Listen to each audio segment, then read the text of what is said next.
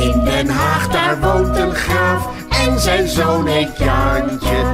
Als je vraagt waar woont je pa, dan wijst hij met zijn handje, met zijn